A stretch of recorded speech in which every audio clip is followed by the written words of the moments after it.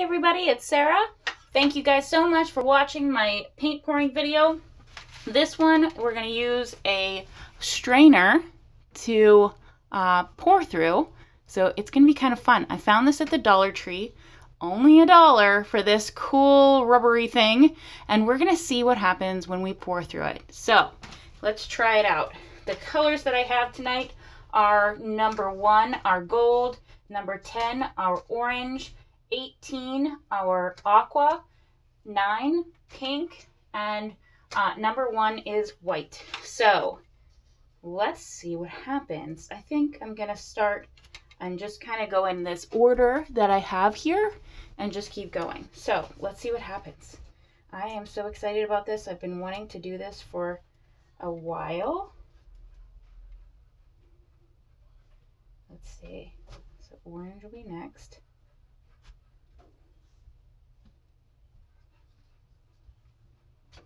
And I picked these colors because I thought, oh, these are kind of beachy, very summery, bright pinks, golds, teal. Oh, wow. It is already looking really cool. I cannot wait for you guys to see what happened on this side. I need a lot more teal, I think. I'm going to do a little bit more, just finish up this row of like this order. And then I think I'm going to tilt. Wow. It looks crazy. I might even do a little over here just to look at that.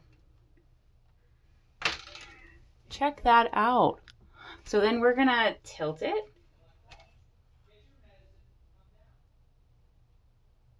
Wow. so crazy looking to me. I don't know. I'm thinking armadillo. I'm, I'm it, it is reminding me of an armadillo for some reason. Well, now not so much that there's a lot more pink and teal going through it, but those gold and uh, orange shades. And this gold that we have is metallic, so it's got some shimmer to it. Camera doesn't really do the gold and the silvers justice. I'm just trying to get all my edges covered. Now remember whenever you guys are pouring, you don't have to stop after the first pour. You can, oh my gosh, I am loving this. Look how cool that looks up there with that pink and that teal. Just want to get all my edges coated. Wow, and I chose a color scheme that is not normally what I use. I usually go for like blues. How cool is that? Oh, I think this looks awesome. And you can see some little cells and some lacing, just like these random little dots poking through maybe let's try a little bit more. I know I tend to go a little bit crazy sometimes, but um, I think this is going to be awesome. So I want to put more gold. Let's see what happens. A little more gold and maybe some more white to break up the gold and the orange. I'm not a huge fan of orange, but hey, you know what? We're trying new things tonight. It's an experiment. So it's just kind of like blobbing through in these like just little, little tiny dots. I'm trying to tap it and see what happens. Oh, we could even like put a little smush, kind of like a balloon smash. See what happens here when we tilt.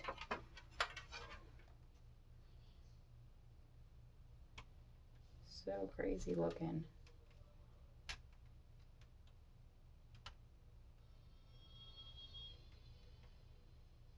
The fun thing about paint pouring is that you never know what you're going to get. And that can be a good thing. It can also be kind of scary to people that are very uh, into knowing the outcome ahead of time. I'm going to do a little more teal over here. And maybe some more pink to match our top area.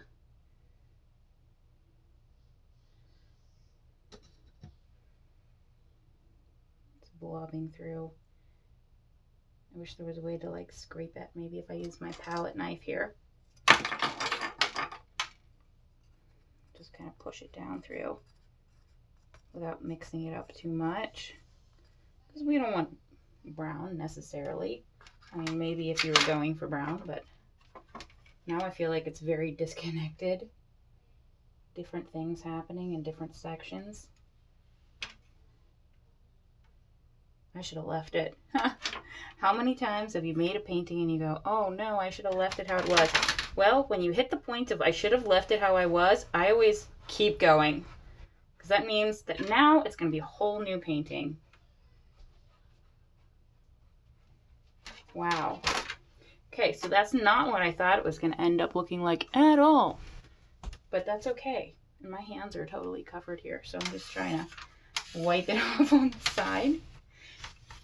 And I think I need more gold in the middle, so I'm going to just kind of tap this off here so that it doesn't have quite so much in there clogging up my holes before I get the colors I really want going on in there which is going to be more gold.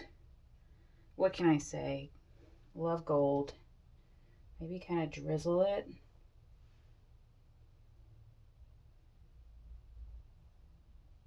A little white to break that up because I feel like that area is very dense with the teal and the pink. Doesn't really go with all the stuff above it and around it and then we can tilt again. So see how you don't have to stop after the first pour?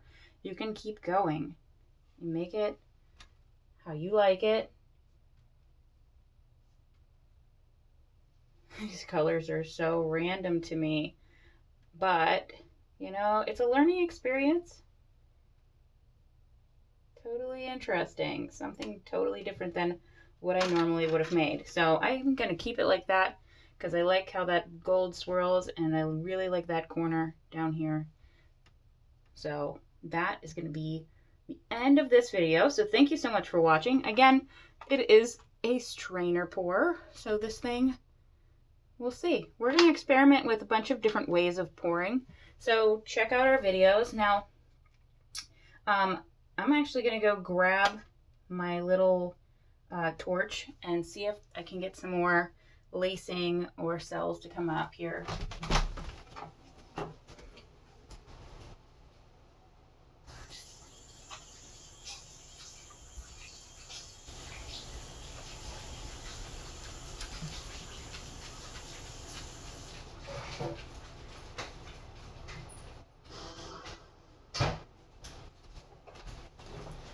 So let's see.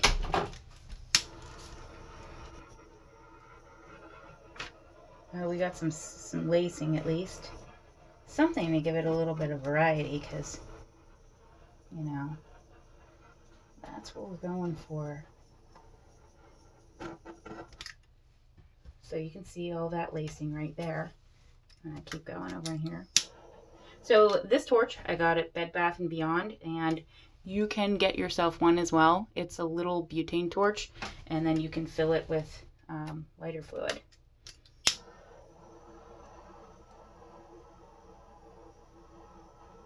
looks like there's going to be a lot in this gold area. I gotta just focus on it. You don't want to hold it too close and you don't want to hold it too still just because then you're going to start smelling paint burning. And that area is going to get dry a lot faster than the other areas, which we don't necessarily want.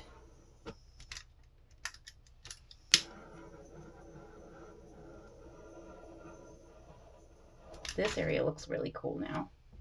Let's see if I can break up some of this pink here.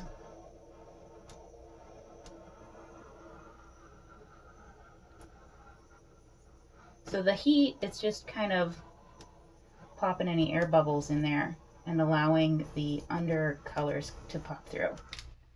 All right, that looks really cool to me. I am going to stop there. I'm happy with what happened with the torch. I'm so glad that I did that part. So I'm going to take this off and maybe try to do like a little bit of a close-up. Sorry for the jiggle.